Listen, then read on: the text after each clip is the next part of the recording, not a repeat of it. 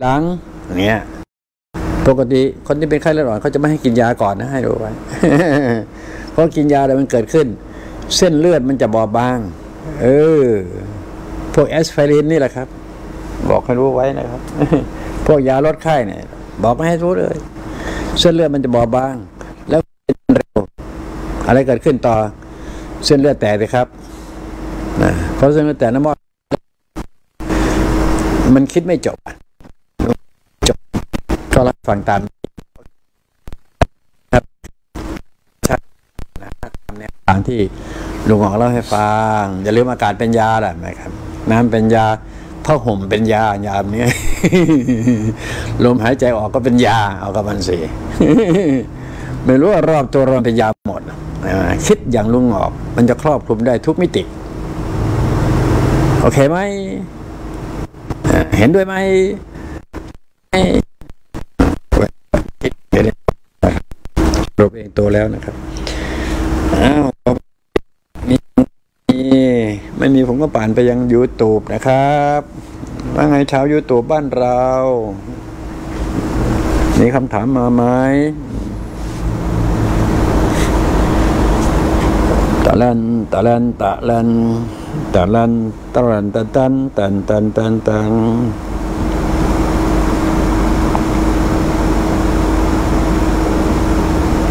ลุงหมอครับ ชาวนาร้อนมากด้วยเคราะห์ด้วยครับอทำไงน้องานเนี้ยครับ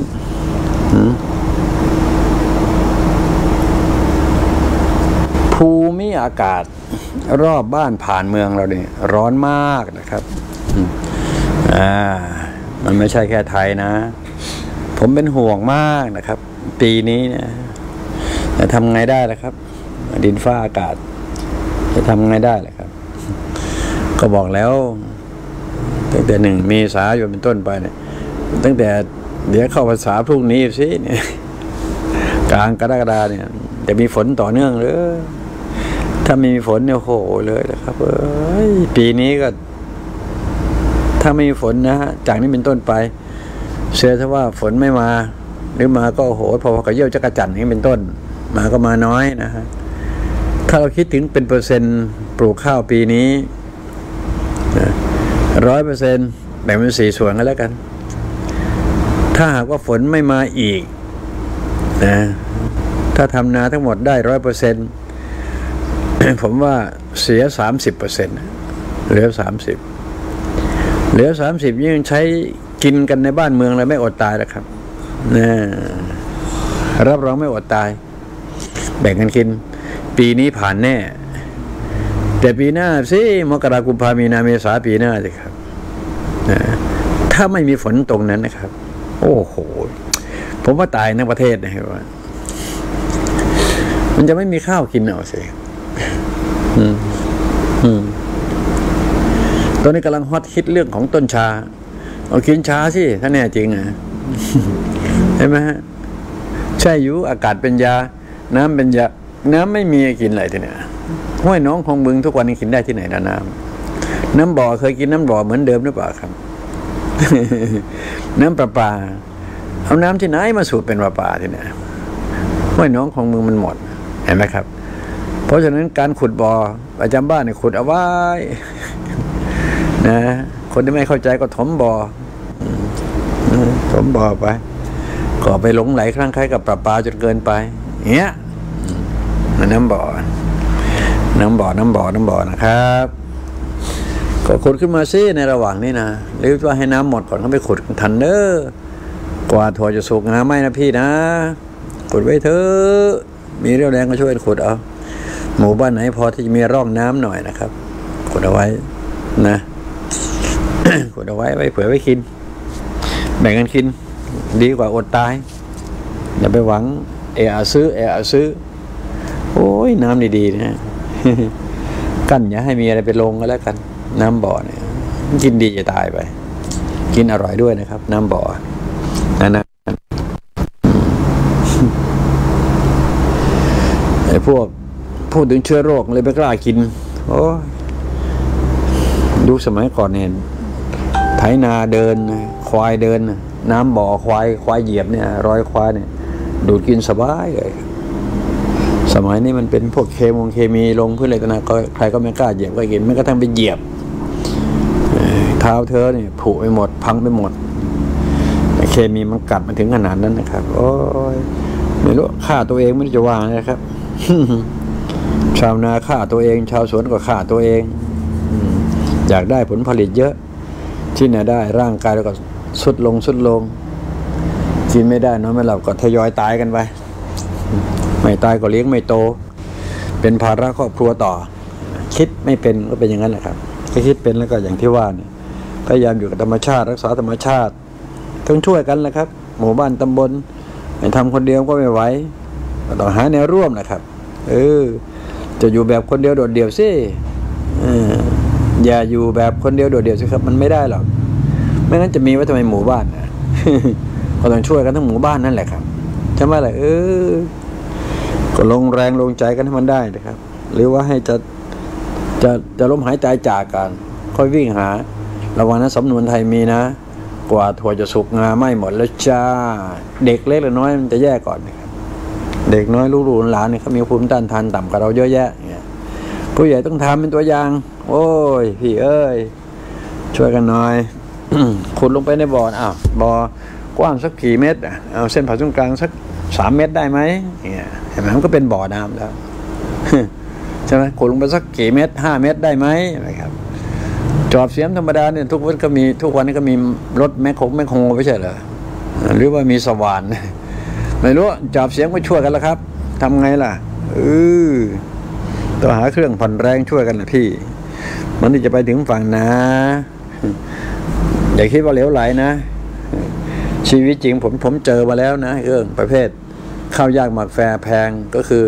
มันร้อนแรงเนี่ยครับ ถึงจะมีไร่นาสาโทมันก็ปลูกข้าวไม่ได้ มีแต่เผือกกับมันนะครับ พอดีบ้านผมมันมีที่ผมมันมันอยู่ริมน้ำอะน้ำห้วย น้ำห้วยมันก็มีตลอดปีแม้จะมีน้อยก็มีตลอดปีอยู่แล้วแหละพอเวลาปลูกก็พอที่จะมีเผือกมีมัน เอาน้ำที่ว่าขึ้นมารดพอที่จะผ่านแรงไปได้ทำนองนี้นะครับ แต่มันก็ใช้ได้ในครอบครัวปลูกมากมันก็ไม่ได้ ประมาณนั้นนะครับ แต่คนส่วนใหญ่จะไปไม่รอดสิครับ นี่นะครับชีวิตจริงผมเจอมาแล้วนะ นี่มันเจ็ดสิบกว่าได้เจออีกหรือเปล่าไม่รู้นะมันเป็นไปได้สูงมากนะครับ ร้อนแรงเนี่ย เป็นไปได้สูงมากนะครับ เดี๋ยวจะหาว่าลุงหอกไม่เตือนนะ เติมไม่รู้กี่ร้อยครั้งแล้วนะ เตือนแล้วนะจ๊ะนะจ๊ะ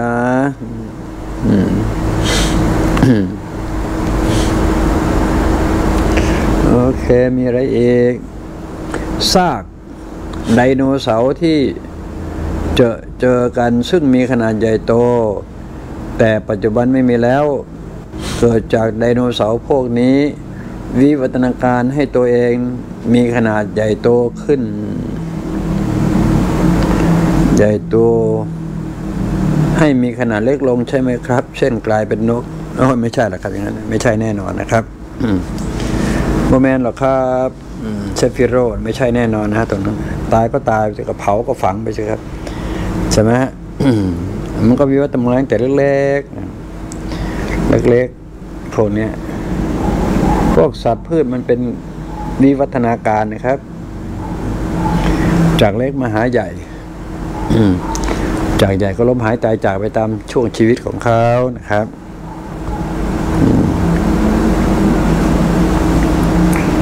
คนสมัยก่อนที่มีการเกิดโรคระบาดขึ้น แล้วคนตายทั้งหมู่บ้าน เกิดจากอะไรก็ภูมิต้านทานบกพร่องเนี่ยก็พวกความร้อนนี่ครับ เป็นตัวหลัก ความร้อนเวลามันอากาศเวลามันเปลี่ยนแปลงแล้วร่างกายมันปรับตัวไม่ทันแปลว่ามันสร้างภูมิต้านทานไม่ทัน เห็นไหมครับ เมื่อสร้างภูมิต้านทานไม่ทัน มันก็ไปแพ้เสียแพ้ตัวเล็กตัวสัตว์ตัวเล็ก มันไปไหนไม่ได้ มันก็อาศัยสัตว์ตัวใหญ่กิน อยู่กินหลับนอนเห็นไหมสัตว์ตัวเล็กไปไหนไม่ได้ ก็มาอาศัยสัตว์ตัวใหญ่ อยู่กินหลับนอนสัตว์ตัวใหญ่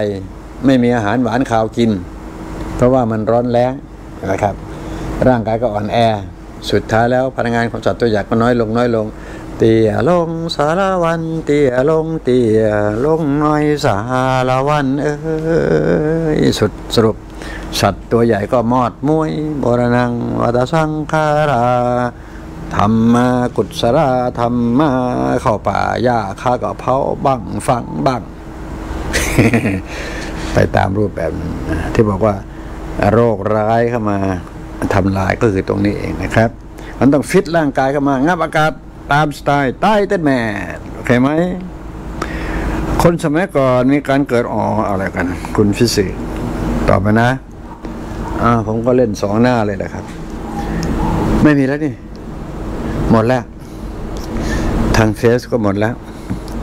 ทาง YouTube ก็ไม่มีนะ ไม่มีเพิ่มนะครับ YouTube นะ เมื่อไม่มีใครไป ไม่มีใครมา ลุงหงอกจะอยู่ทำไมทั้งนั้น ก็ได้เวลาแล้วเนาะอะก็สมควรแก่เวลา ขณะนี้เวลา 20นาฬิกาพอดีพอดีเป๊ะเลย ใช้เวลาวันนี้หนึ่งชั่วโมงเต็มๆพอดีพอดีเหมาะไหมหนึ่งชั่วโมงพอไหมเออพรุ่งนี้อย่าลืมนะ จะนำพาสมาธิให้นะ ผมตั้งใจว่าจะหลับตาฟังเอ้ยหลับตาพูดตลอดนะฮะอยากจะให้ฟังเพราะว่าเป็นวันพุ่นเป็นวันอะไรวันมาฆบูชาวันเข้าวันษานะเอาแน่คือวันขึ้นสิบห้าคำนะกัน วันขึ้นสิบห้าคำนะกันนะจะนำพาสมาธิให้พอเวลามาถึงปุ๊บก็ผมก็ใส่ตึงตึงตึงตึงเลยนะ ผมไม่ฟังเสียงนะ ส่วนทางท่านก็เตรียมพร้อม บ้านใครบ้านใครก็ปิดไฟใส่กรอนไว้อาบน้ำท่าให้เรียบร้อยเด้อพรุ่งนี้อย่าลืมล้างนอกล้างในล้างแบบสีถนนชัยด้วยเด้อคุณนะคุณอาคุณป้าแล้วก็คุณลุงว่าเข้าไปนั่นเอา ก็วันทำสมาธิวันขึ้นสิมาเข้าก็ต้องเตรียมตัวเป็นกรณีพิเศษหน้อยพี่ก็โอ้อย่าให้เหมือนลุงงอกนักเจ็ดวันแล้วยังไม่ได้อาบน้ำเลยนะนะนะนะนะโอเคนะพรุ่งนี้บ้านใครบ้านใครครับอย่าลืมประกอบสมาชีพชอบตามปกติ ใครจะไปวัดวารามก็อย่าลืมตื่นแต่เช้า ใส่บาตรยามเช้าหน่อยเด้อเห็นไหมครับนะนะนะนะเข้าวันษาก็ทำอะไรก็ขอให้พอกินพอช้าอย่าทะเลาะเบาแว้งกันนะ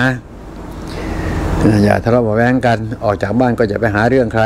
หรือใครจะมาหาเรื่องก็ต้องเดินหนี้ยกมือไหว้ก่อนครับ พี่ขอโทษครับ จบใช่ไหมรู้จักขอโทษใครเป็นเขาก็ไม่ถึงกับอะไรตาได้หรอก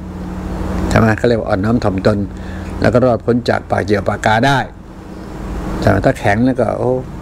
แข็งไปก็แข็งกลับก็เลิกคุยสิพี่อ่อนไว้เข้าไว้เถอะของแข็งทำลายของอ่อนไม่ได้หรอกนะครับ จำหน่อยครับแล้วต้องอ่อนไว้นะ อย่าไปต่อสู้กับใครครับ เป็นผู้ให้ดีกว่าเป็นผู้รับ อืมถนนทางก็เช่นเดียวกัน ให้คนหนึ่งเข้าไปก่อนเอาไปก่อนอขับเร็วถึงโรงพยาบาลนะหรือบางทีก็ไปโรงพยาบาลก่อน ฉันก็แล้วกันคิดมันอย่างนั้นเสียเวลาคิด มันอยากไปเร็วนะก็ปล่อยไปโรงไปโรงพยาบาลก็จบแล้วนี่ใช่ไหมเออไอ้สองล้อแป้นๆเนี่ยอย่าไปใกล้ชิดมัน เออให้มันไปก่อน เวลาจะแซงเซิงก็เว้นระยะห่างให้มากพอพราะว่าฉลับบางทีก็ถึงกับเราแหละก็แค่นี้เองในการที่จะให้เกิดความปลอดภัยขึ้นแล้วต้องมีความรอบคอบมากเป็นปกติธรรมดาใช่ไหมล่ะเขาสองล้อเราสี่ล้ออย่างเงี้ยสองล้อมันแวบง่ายนะก้อนหินก้อนเดียวมันก็กลิ้งได้เหมือนกันนะสองล้อนะใช่ไหมล่ะเออต้องเข้าใจงั้นด้วยสิครับไอ้ผมประเภทขี่สองล้อมาก่อน ความจริงก็เกือบตายเหมือนกันนะเฮ้ยไม่เอาเล่ามันจะยาวเรื่องพวกนี้ขี่มาทั้งนั้นแหละครับอะประกอบสมาชีพชอบตามปกติ ซื้อกินไม่หมดคดกินไม่นานขอให้พอกิน พอใช้เหลือกินเหลือใช้และเหลือขอเหลือพอเด้อคุณน้าคุณอาคุณป้าแล้วก็คุณลูกพร้อมๆกันนี้ก็ทำหน้าที่ปกป้อง คุ้มครองการงานบริวารและ ทรัพย์สินเลี้ยงคาที่หามาได้ เด้อ ก็เดินทางไกลๆซ้ายขวาหน้าลังหลังบนมืดหรือสว่าง ทุรอบจะรอบมนทุกกับจะเดินน้ำบกอากาศ พระราชพานะของพระศรีอริมตไตรก็ทำหน้าที่ของเขาเอง หน้าที่ของเขาคือปกป้องคุ้มครองคนดี มีคุณภาพมีคุณธรรม พอใจไหมครับ แล้วก็เขาจะทำลายพวกไม่ดีเองนะนะ ถ้ารู้ตัวว่าเราเป็นคนดี ก็จะได้รับการปกป้องคุ้มครอง แค่นี้น่าจะพอมั้งเอวังกวิตตอนนี้สาธุอามิน อาเมน โอม และอามิตาพุท thank you very big จบข่าวครับผม